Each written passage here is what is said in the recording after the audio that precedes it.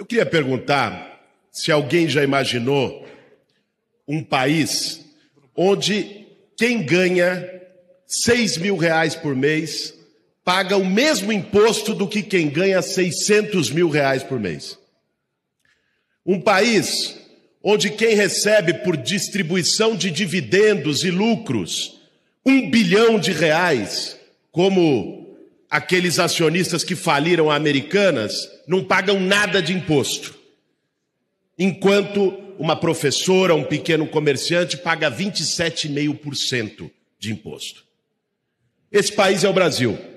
Nós temos um dos sistemas tributários mais injustos do planeta. E agora, quando o debate da reforma tributária vai entrar aqui nesse Congresso Nacional, é fundamental que a gente discuta isso. Justiça tributária. Tá certo, vamos fazer o IVA, vamos simplificar o sistema tributário, tá correto, mas não basta. Nós temos que corrigir as profundas distorções do nosso sistema. Dizem que a esquerda gosta muito da Venezuela, de Cuba, da China. Eu quero falar aqui dos Estados Unidos e da OCDE. Porque nos Estados Unidos, o imposto sobre renda e patrimônio, que é aquele que permite maior justiça tributária, fazer com que os mais ricos paguem mais, é 60% da carga tributária. No Brasil é 24%. Nos Estados Unidos, o imposto sobre consumo, que é aquele mais desigual, que tributa o consumo, a produção, tributa o feijão, o arroz, é de apenas 17%. No Brasil é de 50% da nossa carga tributária. Na OCDE, a média é de 32%.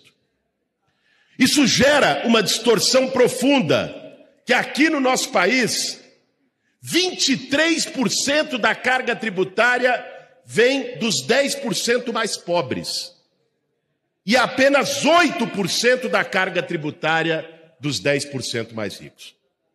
Isso precisa mudar imediatamente. A maior caricatura disso, presidente, é o IPVA. Quem tem um carro velho, paga IPVA. Se não pagar, vai para o pátio. Quem tem um jatinho, um helicóptero, um iate, não paga um real de IPVA jet nesse ski, país. Jet ski. Um jet ski.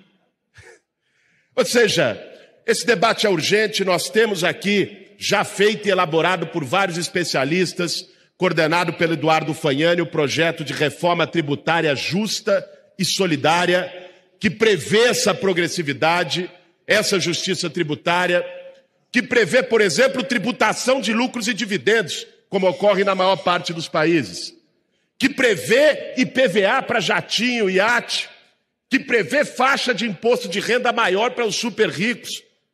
Ninguém quer aumentar a carga tributária. O que a gente quer é que a classe média e os mais pobres, que já pagam muito, paguem menos, e que os super ricos, que têm muito, comecem a pagar. Porque o Capão Redondo não pode mais ficar financiando os lucros da Faria Lima, os luxos da Faria Lima.